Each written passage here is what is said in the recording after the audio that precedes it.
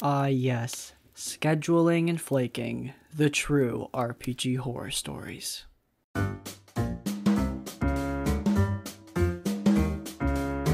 I'm a forever DM, and I see everywhere that sometimes you need to be a player to get out of a writing slump. So I joined a random game I found on a Discord server. We were playing a dungeon crawling module and had a session every other week. This game didn't start out great and didn't really get better over the course of four months. There were issues getting people to show up, getting the VTT to work, getting people to stop fighting with the DM, etc. I told myself I would stay for five sessions, and I did, and then I left. There were approximately seven players at a time in a session, and people would leave and we'd get more people because the game wasn't to their liking, which, fair. I complained about it to my own players. But add in the pets everyone had, and combat took forever. Not to mention that difficulty was dialed up to 13 slash 17 instead of 11. I did not make my character to be an optimized combat person, so I went down every fight, and I usually wasn't the only one. And this game was almost 100% combat too. I spent a lot of time not talking. At one point, the DM introduced homebrew rules. They weren't written down anywhere, sometimes to our favor, and sometimes they were just weird. But we didn't know them until we came across a situation where we interacted with said rules.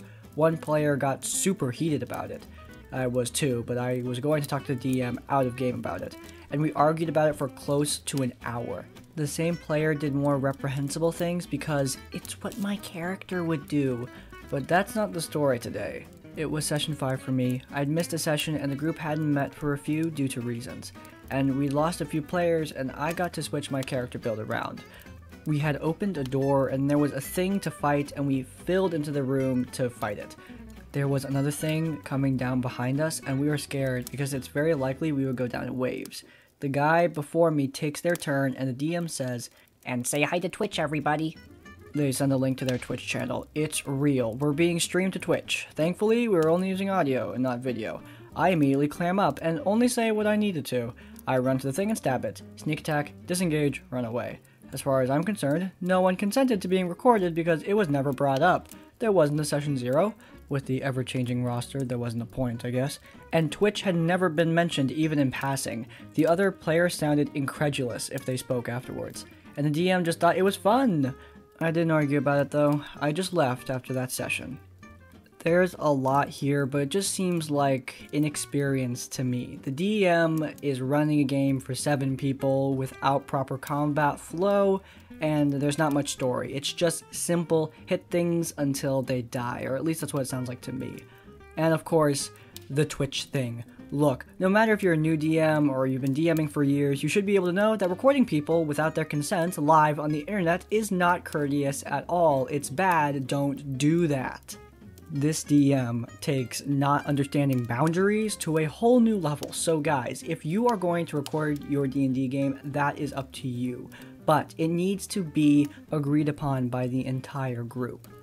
There's not much to say here. Don't record people live on Twitch without their consent it's kind of just generally bad. Well, anyway, next story. I would love to play a Star Wars RPG for once that doesn't fall apart before session 1 or turn into a small scale horror story. However, this has yet to happen. Here are some snippets.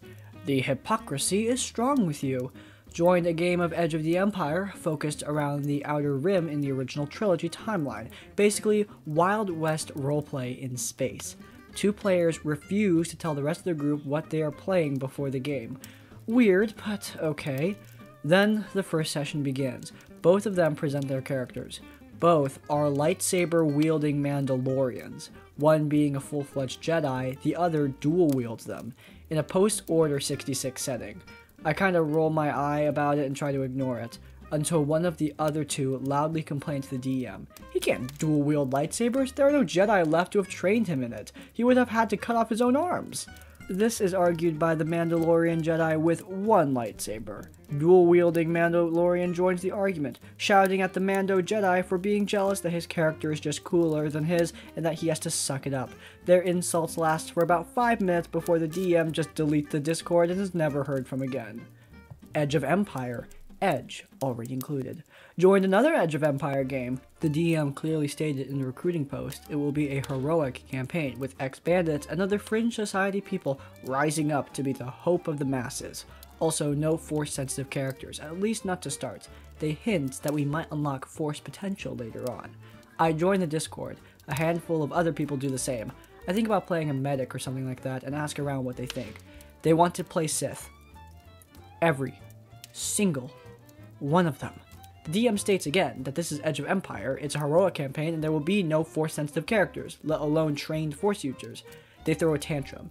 If you don't want us to play force users, why offer to play Star Wars at all? They leave. I remain. The DM tries to get new people and doesn't find any. The game disbands before session 1. This is really confusing to me personally. I don't understand why everyone wants to be Jedi and Sith in Star Wars. One of the coolest parts of Star Wars is just the normal people smugglers, bounty hunters, fringe society folk trying to survive in this huge galaxy. I love The Mandalorian because it focuses on just a bounty hunter. Yes, he gets special throughout the series and he finds Jedi and finds a greater purpose, but a lot of the show just focuses on the small folks, and it's awesome.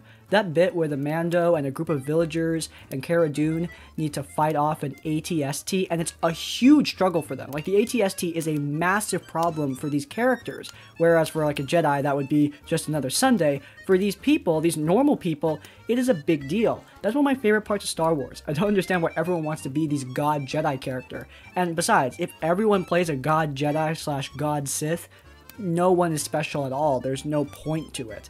So yeah, I've never understood this sort of push for Jedi and Sith in Star Wars games. Uh, this isn't the first time I've seen it. It happens a lot. But yeah, very confusing to me.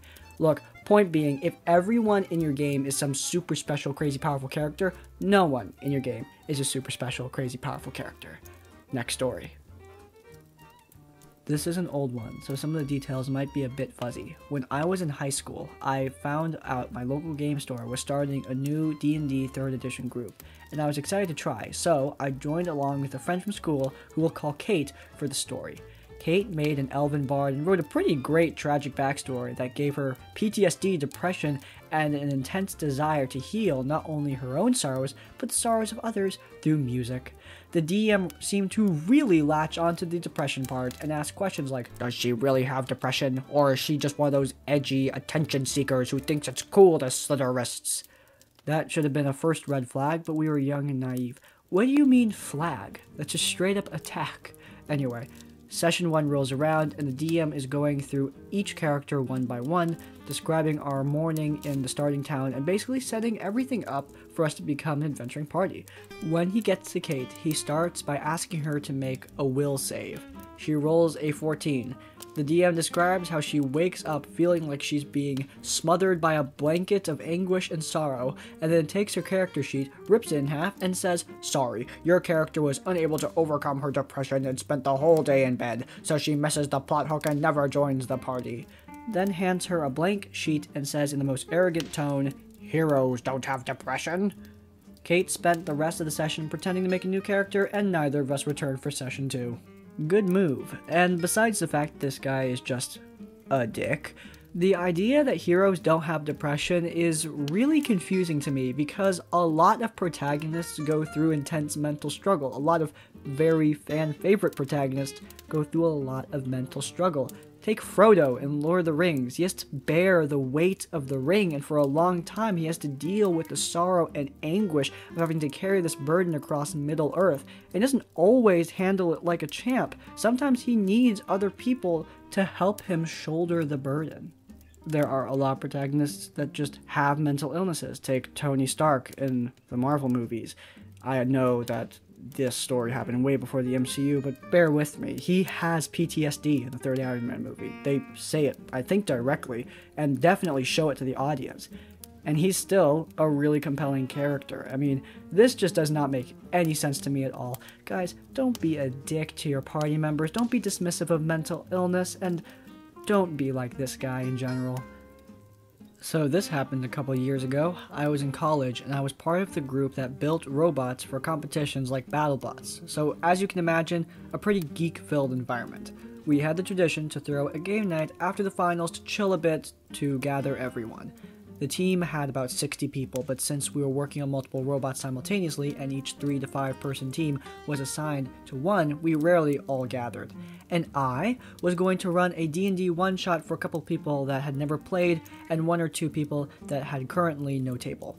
So I tell everyone that because we'll probably just do a one shot, I was going to run Lost Mines because it was right after the finals, so I wouldn't have any time to plan. I helped a couple of people with their characters, all level 1s, that's important. So cut to the game night, and we are wanting to play. And a classmate of mine who was also on the team shows up to the last second and asks if he can join with the Tiefling Bard. I said, sure, and asked him to give me the sheet because I was reviewing everyone's stuff since they were all mostly new to the game and had forgotten to fill some stuff in. When he hands in my character sheet, it's a level 3 character with 20 plus 5 on note. He knew it was a level 1 table. He said it was a character from a campaign that had gone nowhere and that he had rolled all the stats. Naturally, I said he had to make a new sheet. Oh boy. The dude threw a huge tantrum over how I was nerfing his character and how I wanted to steal his thunder and that I was an awful railroading DM and stormed out of the room. We studied in the same class for two more years and never brought that up again. Honestly questioned myself if I hallucinated that sometimes. Everyone wants to be the star of the show, or at least every problem player usually wants to be the star of the show. This is definitely a problem. Don't try to make an over-leveled character, especially with everyone being new to the game. There's nothing worse than having someone that is more powerful than the rest of the table and spotlight hogging everything. That's not great. There's nothing much to say here other than pointing out the weird social dynamics that come after falling out in D&D it is kind of hard just to go back to whatever you were doing before someone freaks out at you over a tabletop role-playing game. It's a weird social dynamic overall. Look, guys, don't freak out at your DM for telling you to keep the game fair, especially when everyone's new. Alright, that is going to wrap it up for today. If you guys enjoyed this episode of RPG Horror Stories and you want to let me know, then please do leave a like. If you want to see more episodes of RPG Horror Stories by me, then please do subscribe to Crispy's Tavern to get all of my content in your subscription box. And finally, if you want to leave your own stories or thoughts, go down to the comments down below. In essence, like, comment, subscribe. I will see you all next time. Farewell.